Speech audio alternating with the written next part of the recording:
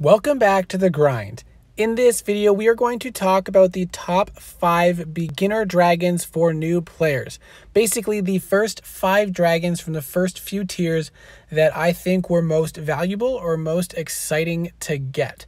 Now, we're probably going to do at least one or two from each of the first couple tiers and then give a couple honorable mentions um, within that tier that were helpful to get to those better dragons. Now, it is worth mentioning at first that this will apply primarily to players around level 30 to 50 because the first few tiers up to level orange, I think requires level 28 to get orange tier and then you have to be above 40 i think to get green dragon. So we'll probably go up to green. We might end up with a couple more than five but we're going to highlight the top dragons and give a little bit of a tutorial on um, how they work. So the first dragon we're going to start off with from red tier is ember Ember is a hunter that has a Death Gaze spell unlocked right away. Now, unfortunately, if you want to level up the dragon much further, you will have to pay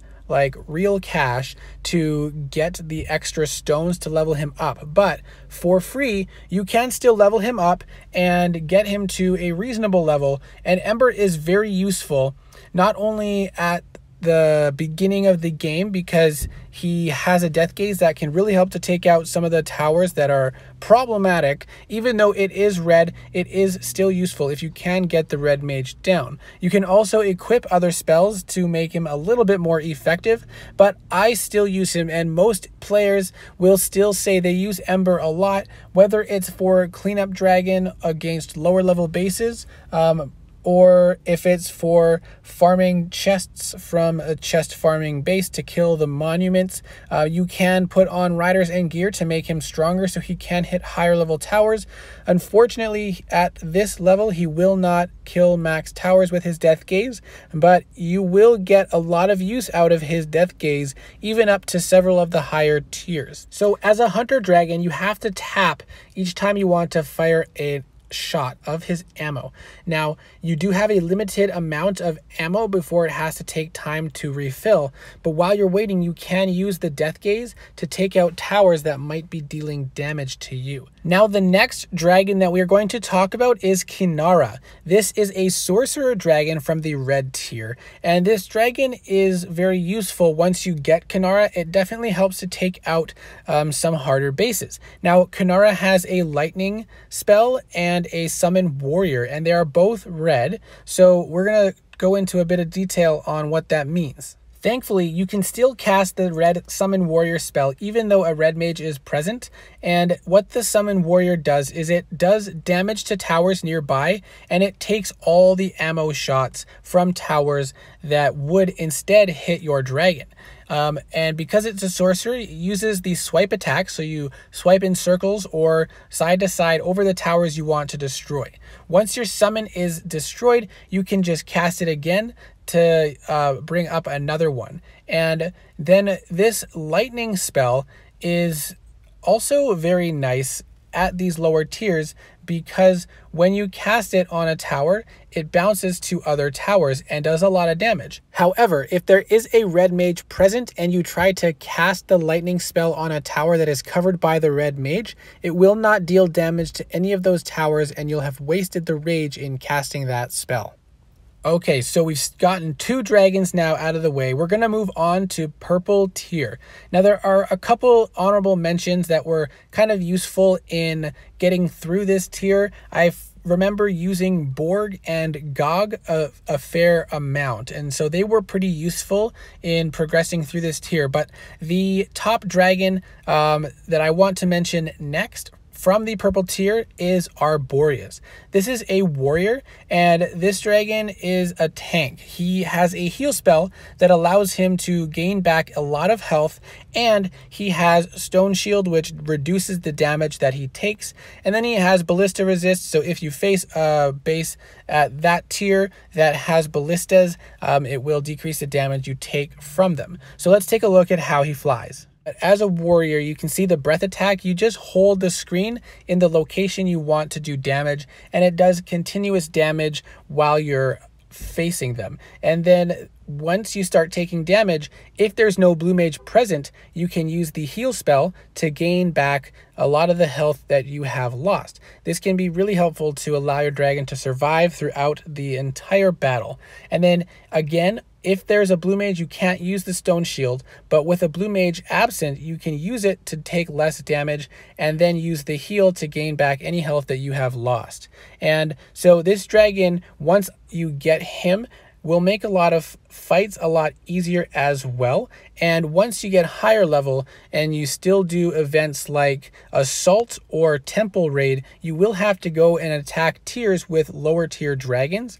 And Arboreus is one that I rely on a lot to defeat those tiers when those specific events are active. Now, moving on to our fourth top dragon for new players, we're going into blue tier. Now, the top dragon from this tier, I personally am more partial to hunters, so I want to say Druid, but Etzel is also a very valuable dragon to have from the blue tier. So depending on your play style and which types of dragons you prefer. Hopefully, by now you've had enough time to experience what the different types are like and which you prefer. But Druid and Etzel are both very valuable dragons. Honorable mention goes out to Bolt, um, a hunter with a death gaze, which makes him very valuable at that tier as well, as well as Gripe, which I felt like was a fairly strong um, warrior dragon for this tier that helped me as well. What's great about Druid is that you can use the red spell, which is called a healing hunter's mark. And when you use it on a tower and destroy that tower, then you will gain health back. And this is very useful if you can take out the red mages and they're not in the way, you can place it on a tower or even place it on monuments. And so when you destroy those monuments or those towers, you gain back health and it helps you to survive throughout some of the more challenging islands that you're facing. He also has this blue spell, which if a blue mage is not present again, you can activate it to avoid taking not all, but sometimes most of the damage that you would be taking, and then try to quickly fly over the island and avoid a lot of the strong towers that might have killed you otherwise. So you can see I still take some damage, but I avoid a lot of the damage and quickly fly across that island to move on on to the next. Now, Etzel is also a sorcerer who has a summon warrior spell, which we saw previously with Kinnara. And this summon warrior takes damage from the towers and deals damage, but this dragon also has a freeze spell that you can cast on a very large area that deals damage and freezes the towers temporarily so they stop dealing damage. This can be a very useful spell to protect you from taking a lot of damage, to protect your summon from taking a lot of damage, and it um, allows you to take out some more challenging bases as long as you've gotten rid of the red mages. So if you start attacking a base with, for example, a hunter like Druid, and then come in with this dragon, you can freeze a lot of the towers, which will deal damage and protect you from damage that they would otherwise be dealing to you. So both of those dragons are very strong for blue tier and that already brings us up to five dragons. But I'm just to go ahead and give a shout out to the other top dragons that I like from orange tier as well as green tier. So once you're level 28, you can start getting orange tier dragons. And from this tier, the top dragon, in my opinion, and I think others will agree, is Amarok. Now, I do not have some of these other dragons, which others might enjoy playing, but Amarok is a very strong dragon. He has uh, an explosive shield, which I will demonstrate soon, as well as a cure poison. Now, this in itself removes the poison from the attacks of a, a ballista. But if you get the right research, which you might learn about as you progress in the game, then this spell actually will also heal the dragon. So it can be very useful. So Amarok is a warrior, so he does use the breath attack damage. Now, if there is no blue mage or you can take it down ahead of time, you can use the explosive shield, which absorbs a lot of damage that you would otherwise take. And when the shield ends, it explodes and deals a large burst of damage to the towers in range. And then the cure poison is good to get rid of the poison effect, but if you have the research for it, it does heal a small portion. So this dragon is very useful once you unlock him, and he will be very useful for those events that I mentioned mentioned earlier that require you to uh, fight bases from lower tiers that using the lower tier dragons. Honorable mention from this tier would go to Enki and Nos. They are also very useful for defeating the um, tier specific content from certain events that I have been mentioning. Um, they are hunters that require a little bit more practice and skill to fly, but Enki has a Death Gaze spell, which is very useful. So finally, we're going to mention one dragon from green tier. This is something to look forward to. At this point, you're probably already level 40 to 50, and you'll be working towards getting some of these higher tier dragons in green tier. And my favorite one is Ettin, mostly because he's a hunter and I love hunters, but Ettin has a lot of value because Ettin has a cloak as well as a healing mark and a self-destruct, which can be useful in some situations. Other honorable mentions from the green tier include Danzig, which is a very strong warrior, and Munin, which is a fairly useful sorcerer as well. So Ettin is a hunter, and you have to tap to fire ammo. And if you cloak, you can stay hidden from the towers so they will not be dealing damage to you.